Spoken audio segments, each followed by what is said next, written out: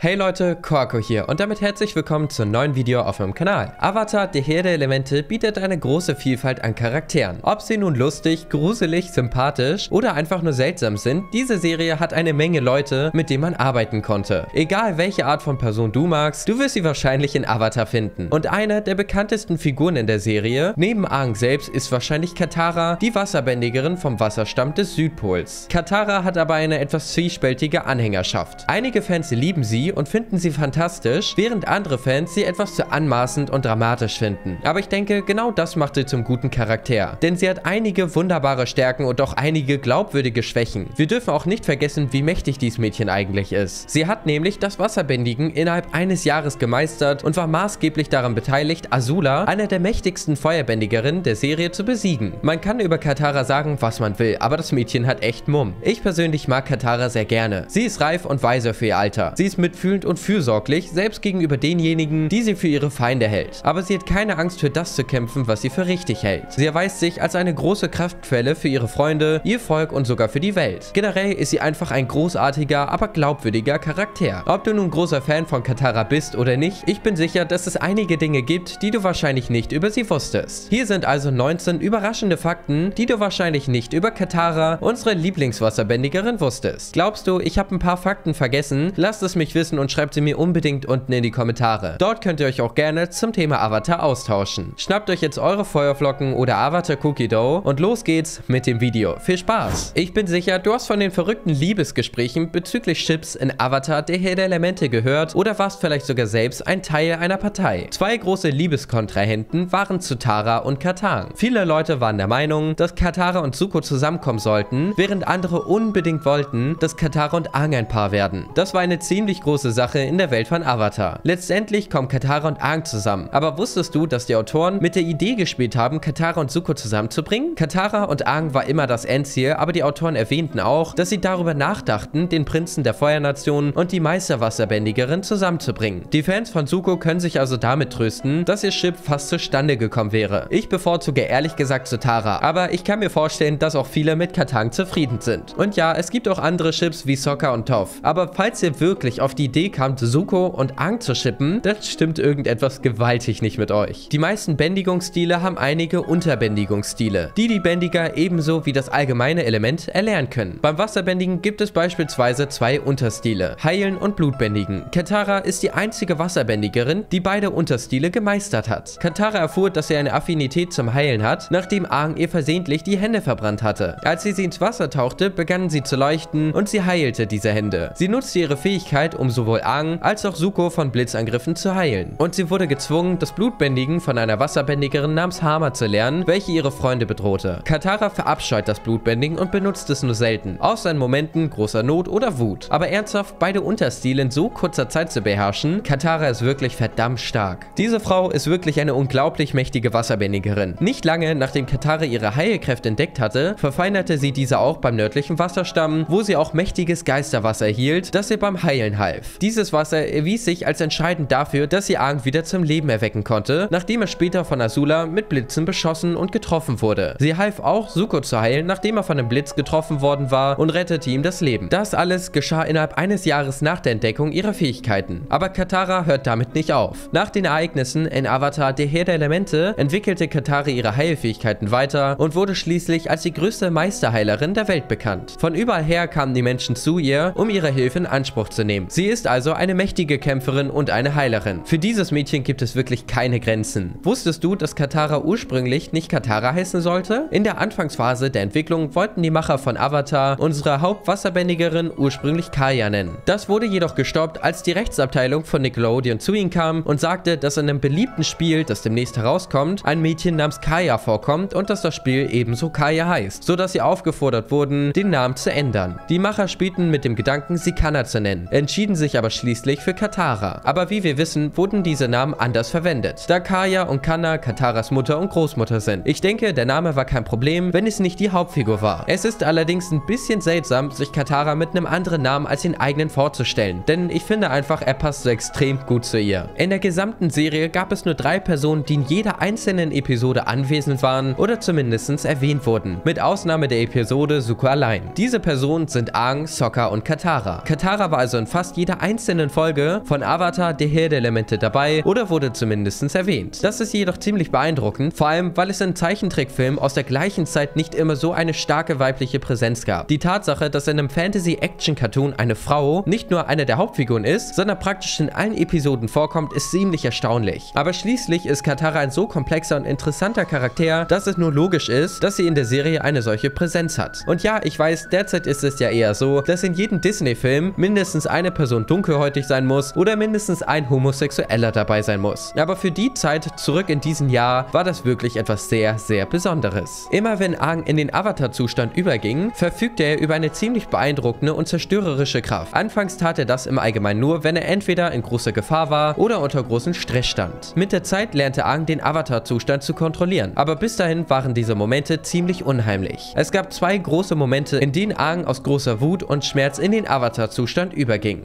Einmal, als er herausfand, dass Gyatso von den Feuerbändigern getötet worden war und ein zweites Mal, als er entdeckte, dass die Sandbändiger Appa entführt und verkauft hatten. In diesem Moment war die einzige Person, die Aang aus dem Avatar-Zustand heraus beruhigen konnte, Katara. Das ist eigentlich ziemlich süß und zeigt die einzigartige Bindung zwischen den beiden. Wenn ihr American Dragon oder die Teenage Mutant Ninja Turtles von Nickelodeon gesehen habt, kommen euch die Figuren Rose und April vielleicht bekannt vor. Nun, dafür gibt es einen Grund. Die Wahrheit ist, dass das Mädchen, das die Stimme von Rose aus American Dragon und April aus Teenage Mutant Ninja Turtles die Synchronsprecherin von Katara ist. Mae Whitman hat in verschiedenen Zeichentrickfilmen als Synchronsprecherin mitgewirkt. Darunter Fillmore, Johnny Bravo, Batman the Brave and the Bold, Young Justice, Drachen, Der Reiter von Berg, DC Superhero Girls und so weiter. Sie hat auch in einigen Live-Action-Filmen wie Independence Day und The Duff mitgespielt. Interessant ist jetzt aber auch, dass Dante Basco, der Zuko spricht, auch Jake, den Liebhaber von Rose in American Dragon gesprochen hat. Und diese beiden Charaktere kommen am Ende zusammen. Also zu Tara-Fans, ihr könnt euch doch noch freuen. Wusstest du, dass Katara und Sokka ursprünglich etwas jünger sein sollten, als sie sind? Die Macher hatten immer geplant, ein Geschwisterpaar in der Serie zu haben, da sie mit der Dynamik von Geschwistern spielen wollten. In der Serie ist Katara etwa 14 und Sokka etwa 15 Jahre alt. Ursprünglich wollten die Autoren die beiden aber jünger machen. Anscheinend sollte Katara das gleiche Alter wie Aang haben, also 12. Und Sokka sollte nur ein Jahr jünger sein als sie, also 13. Aber als sie die Geschichte weiterentwickelten, beschlossen die Autoren, die beiden Geschwister älter zu machen. Ich persönlich finde es gut, dass die beiden etwas älter sind, denn ich finde, das sorgt für eine interessantere Dynamik zwischen den beiden. Mit beliebten Fernsehsendungen kommen auch die unzähligen Merchandise-Artikel. Schließlich wollen diese Unternehmen Geld verdienen und die Fans wollen ihre Liebe zu diesen Sendungen zeigen. Und Avatar, der Herr der Elemente, war da keine Ausnahme. Es gab T-Shirts, Bücher, Hüte, Spiele, Plüschtiere und alle möglichen Dinge, mit denen man seine Liebe zu Avatar zeigen konnte. Aber wusstest du, dass sogar Lego auf den Avatar-Zug aufgesprungen ist? Wenn du ein Spielzeug oder eine Figur von Katara haben möchtest, hat Lego anscheinend eine Reihe von Minifiguren von vielen Figuren aus Avatar, der Herr der Elemente herausgebracht. Du kannst Katara, Iro, Zuko und viele andere bekommen. Diese kleinen Lego-Figuren sind wirklich niedlich und sie sehen die Figuren sehr ähnlich. Jetzt fehlt wirklich nur noch ein Lego-Videospiel zu Avatar und wir wären voll dabei. Wirklich, ich habe Lego-Spiele super gesuchtet. Bevor wir aber mit dem nächsten Fakt weitermachen, kommen wir zu einer kurzen Werbeunterbrechung. Denn bei avataruniverse.de bekommt ihr alles rund um die Welt von Avatar. Und das Beste daran ist, mit dem Rabattcode QUARCO10 spart ihr auch noch 10% Rabatt auf eure Einkäufe bei Avatar Universe. Dort gibt es alles rund um Comics, Poster oder Klamotten. Das könnt ihr euch natürlich selbst aussuchen. Vor allem ist das Suko und Iro Poster wirklich legendär und nicht mehr lange erhältlich. Deswegen legt los und tätigt eure erste Bestellung als Avatar-Fan. Jetzt geht es aber auch schon weiter mit dem nächsten Fakt. Nicht viele Menschen in der Welt von Avatar können von sich behaupten, den Avatar getroffen zu haben, geschweige denn mehr als ein. Die meisten Menschen treffen nur eine Version in ihrem Leben. Es sei denn, man ist Katara. Tatsächlich hatte Katara schon einige Begegnungen mit mehreren Versionen des Avatars. Sie hat mit zwei von Aangs früheren Leben interagiert, Kyoshi und Roku, als sie sich zu verschiedenen Zeitpunkten in Aang manifestierten. Das macht sogar ziemlich Sinn, da Katara neben Aang die spirituellste in der Gruppe ist. Außerdem hat sie nicht nur ein, sondern zwei Avatare ausgebildet, Aang und später Korra. Denkt mal bitte einfach kurz darüber nach. Das ist wirklich beeindruckend. Blutbändiger sind wirklich unheimliche Leute. Indem sie das Blut im Körper bändigen, können sie deinen Körper kontrollieren und tun, was sie wollen. Sie sind im Grunde genommen Puppenspieler, was wirklich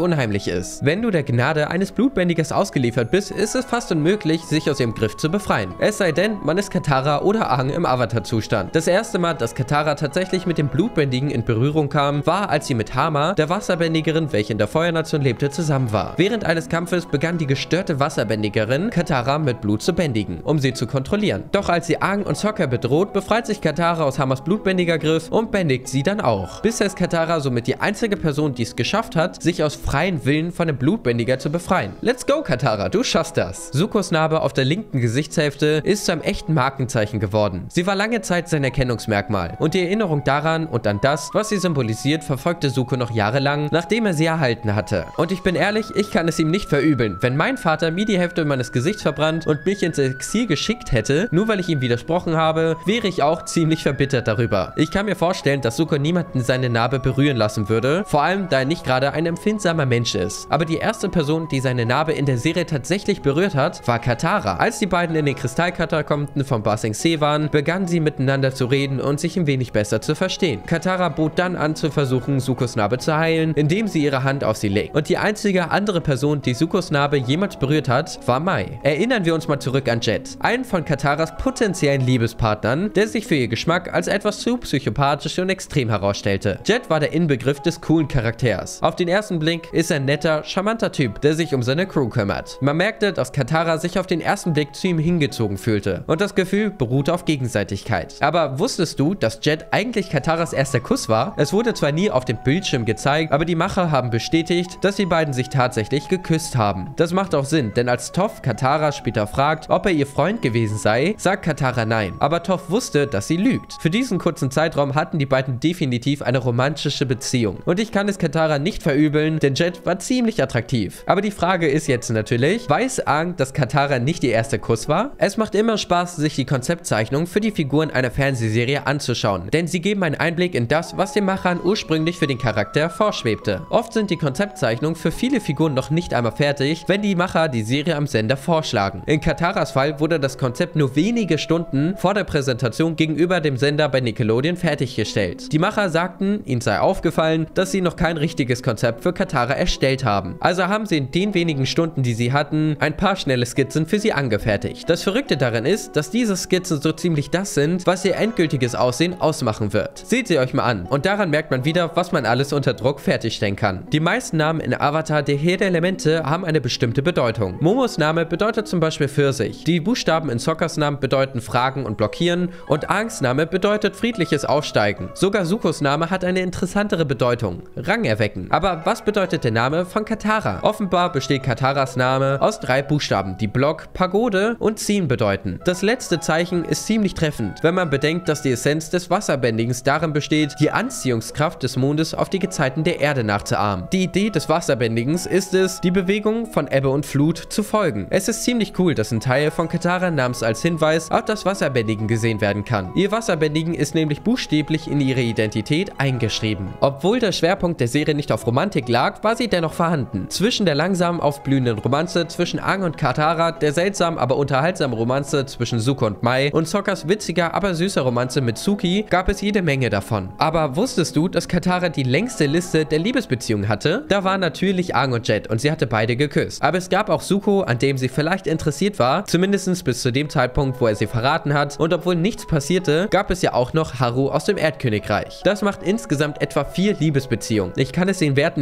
Herren aber nicht verübeln, denn Katara ist wirklich ein erstaunliches, schönes und unglaublich starkes Mädchen. Wer würde also nicht gerne mit ihr ausgehen wollen? Wenn es darum geht, zu lernen, wie man sein Element bändigen kann, muss man von der ursprünglichen Quelle lernen. Die ursprünglichen Bändiger waren es, von denen die Menschen lernten, wie man die Elemente bändigt. Die Luftbändiger lernten von den Himmelsbison, die Erdbändiger von den Dachsmaulwürfen und die Feuerbändiger von den Drachen. Wer also war die ursprüngliche Quelle des Wasserbändigens? Laut Katara selbst haben die Wasserbändiger vom Mond gelernt, der an den Gezeiten zieht. Was ich daran interessant finde, ist, dass das Wasserbändigen der einzige Stil ist, der nicht von einem Tier gelehrt wurde. Alle anderen ursprünglichen Quellen sind Tiere. Ich frage mich, warum das so ist. Vielleicht gab es Tiere, die Wasserbändigen konnten, aber die Wasserbändiger haben sich einfach vom Mond inspirieren lassen. Trotzdem finde ich es einfach ziemlich cool. Im Laufe der Serie sehen wir alle Arten von Menschen, die die vier Elemente auf verschiedene und ziemlich kreative Art und Weise bändigen. Von Iro, der Feuer aus dem Mund spuckt, bis hin zu unseren Sumpfbewohnern, die das Wasser in den Ranken bändigen, gibt es alle Arten von interessanten Bändigungen. Aber es musste einen Ausgangspunkt für die Serie geben. Und alles begann mit Katara. Sieht man einmal vom Intro der Serie ab, ist Katara tatsächlich die erste Person, die in der gesamten Serie beim Bändigen eines Elements gezeigt wird. In der ersten Folge versucht Katara nämlich, Sokka beim Fischen zu helfen, indem sie das Wasser bändigt. Zugegeben, ihr Bändigen war zu diesem Zeitpunkt bestenfalls laienhaft, aber sie hat es trotzdem getan. Und es ist ebenfalls unglaublich zu sehen, was die Serie seitdem mit dem Bändigen gemacht hat. So Freunde, das wäre es jetzt tatsächlich schon vom Video. Schreibt mir mal unbedingt in die Kommentare, ob ihr schon alle Fakten wusstet oder ob ihr etwas Neues dazugelernt habt. Falls euch das Video gefallen hat, dann lasst doch gerne eine positive Bewertung da, abonniert gerne kostenlos meinen Kanal und aktiviert die Glocke. Und falls ihr mit mir reden oder schreiben möchtet, könnt ihr mir gerne auf Instagram folgen. Ich bedanke mich herzlich fürs Zuschauen, bis denne und Sayonara.